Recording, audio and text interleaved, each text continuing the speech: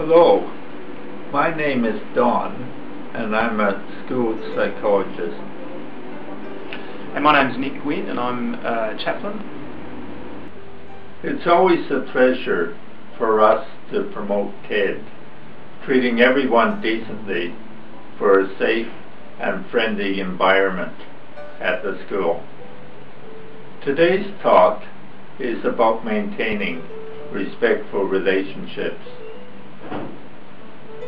We often get to see students who are badly distressed because their friends fail to treat them with respect. Very often they don't treat their friends with respect either. Here are some tips on getting on with other people. Firstly, give other people space. People are not property. Let your friends hang out with whoever they want without accusing them of cheating or telling them what to do. You also have the right to hang out with whoever you want. Two, communicate openly. Tell your friends how you feel without losing your temper, using name calling, put downs, and sarcasm. Don't swear at your friends. It's better if you could think about the situation in a positive way and make positive comments about your friends, such as, thank you for being helpful.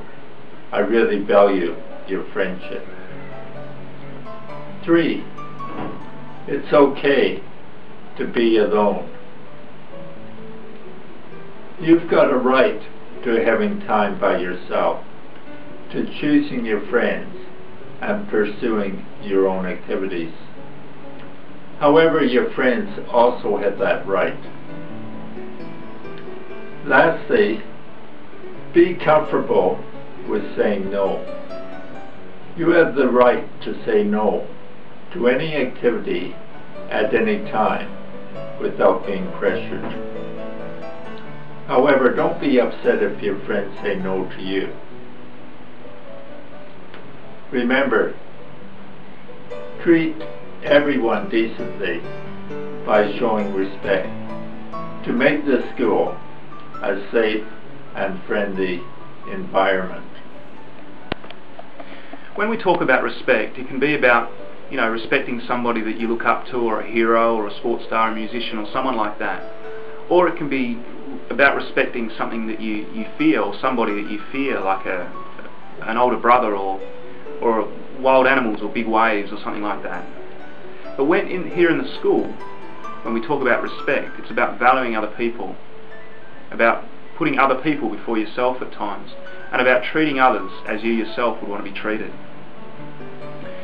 There can be a problem though when we want to treat other people the way we want to be treated if we ourselves don't treat ourselves well. If you don't respect yourself, you, are going to find it very difficult to respect other people.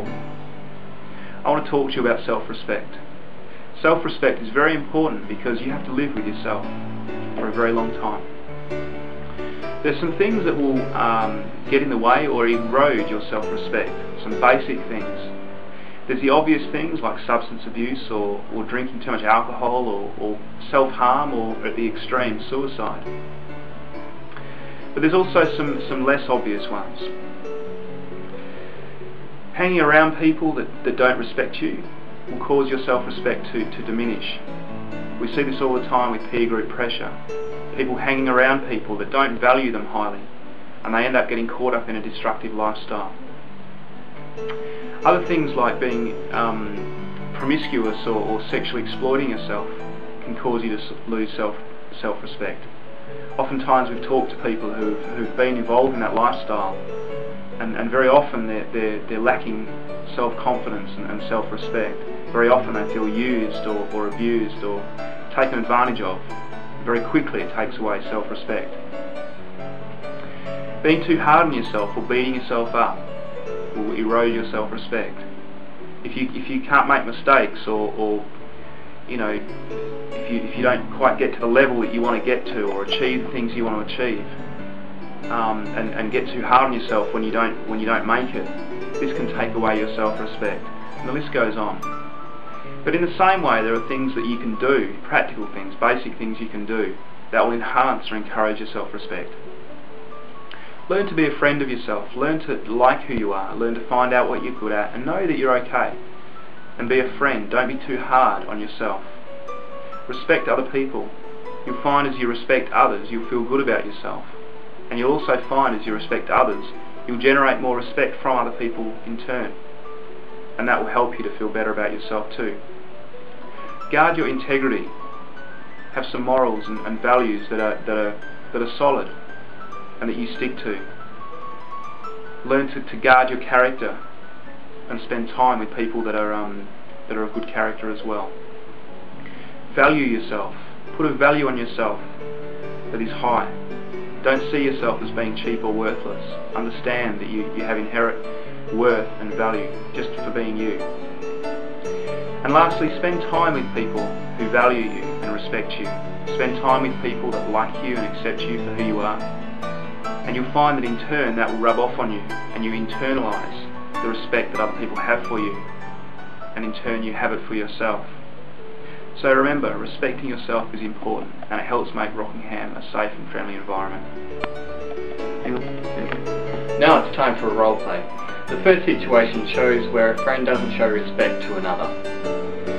Oh, Lindsey, I don't want to see you with John. I think you should hang around me all the time, because I'm better. I'm hot. I'm good. I'm good. See my muscles? See my muscles? They're great big muscles. See me? See? I'm hot. I'm hot to trot. Oh, don't be so dumb, Shannon. You're such a nag all the time. You're always on my case.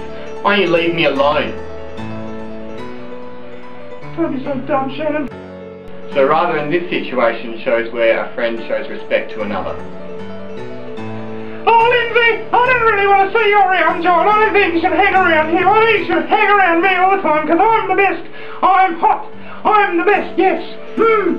I really like Shannon, but I get annoyed when you tell me what to do and who I can see. Remember, I'm not your property. I have the right to hang out with other people without you getting upset. Now, you are my friend and I like you, but I expect you to trust me and respect me. I mean, well? I guess you're right in a way. I mean, you are your own person, and I guess you're right as well that I don't owe you. And you're always right. I'm sorry. I'm sorry. I didn't mean to do that. I was being a bit silly. That's alright.